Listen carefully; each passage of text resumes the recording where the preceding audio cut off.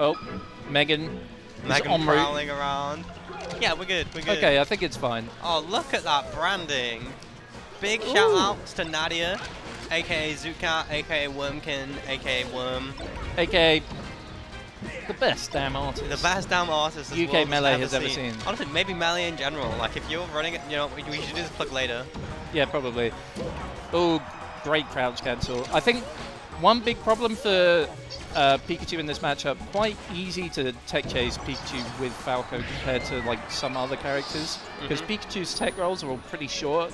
Obviously, there's the thing with the tech in place where it's like two frames less like vulnerability than most characters. hmm But if you're like covering that with like a down air or something, it's not really going to matter. Yeah. I really do feel like this is the longest we've seen Frenzy go without losing to a Schlimbo. A Schlimbo, Yeah. like a Graham, or like a Chief or a, any, anyone like that. Yeah, I think he's on a bit of a hot streak.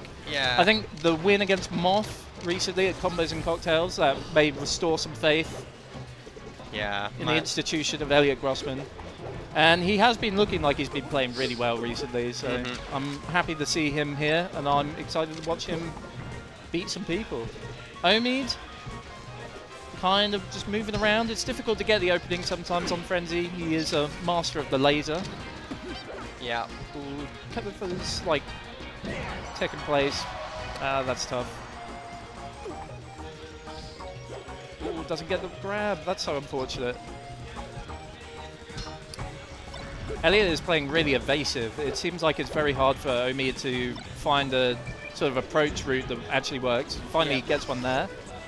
Uh, ooh, covers Oh, high. Oh, and the turnaround, that's tough. They both did like an, oh no. Yeah, that's pretty rough.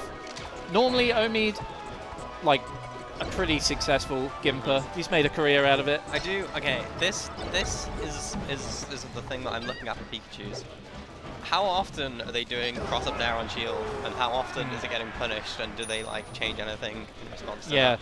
I feel like part of the problem is that Omid hasn't actually been spaced to get the cross up nair in a Yeah. way. It's like he's constantly having to approach from too far away, so there's like he's not really threatening it because when you get the cross up nair and like the Falco isn't hitting like a shine out of the shield or something, it means that you could do like a uh, rising up air behind the shield or Yes. go for grab, which is like quite a good mix up in this matchup.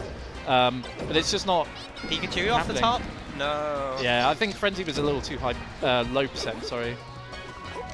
Ooh, that shield grab just on like the drop through there.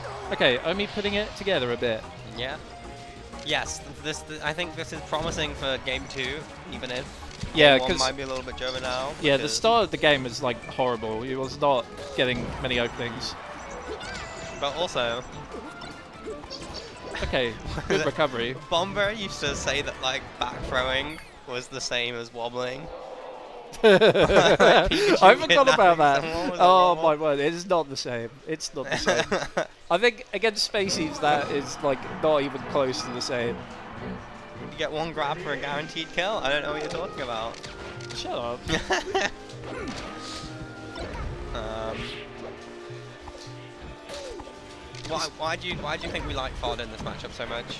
Um, I think Omid's been having a bit of trouble like getting in a close range to Frenzy, Mhm. um, but it still keeps that triplat layout, so it's good for getting to move around.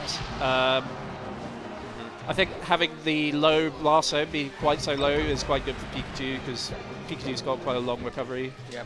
A little interaction that I wanted to point out because I'm, I'm I'm doing my uh, trying to be a little bit more analytical. Oh, okay, here we go. Frenzy, Omid was on the ledge, and Frenzy just crouched by the ledge.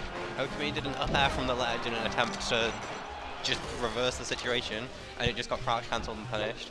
Uh, Pikachu's love doing up air from ledge because the hitbox is going to send them backwards when Yeah. it, and it's just such a cheeky way It's to a good it's a good cheese spot Yeah. basically, but didn't work out for Omid there.